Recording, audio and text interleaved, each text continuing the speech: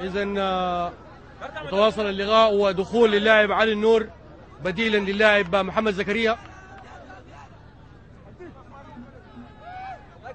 وسط الملعب إبراهيم توريه لخليفة لتوريه تبادل جيد للكرة وتوريه في المرمى جول! جول! ثالث فعلها إبراهيم توريه فعلها المحترف الايفواري في صفوف الهلال بوانتو جميل وجيد جدا.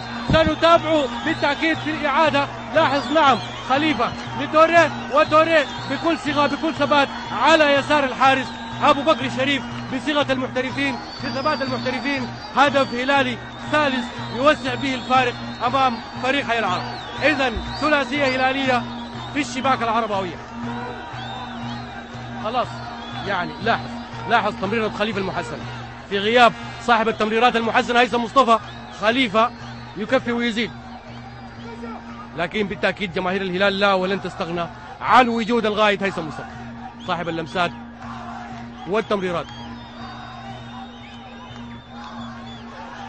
بشا. بالتأكيد سيرتفع ال- الإيقاع بالنسبة للهلال ويرتفع الجانب المعنوي. في حين الأمور يعني ستكون صعبة جدا على لاعبي حي العرب. أمامية هلالية تدخل من جانب يحيى أديسي أو خالد كوستي يبعد تعود لغصي صاحب هدف العرب الوحيد في الوسط من غصي. مرتضى يحول ناحية علي النور علي النور لأحمد إسحاق يعيد إلى الخلف معتصم من جديد وتدخل من بشا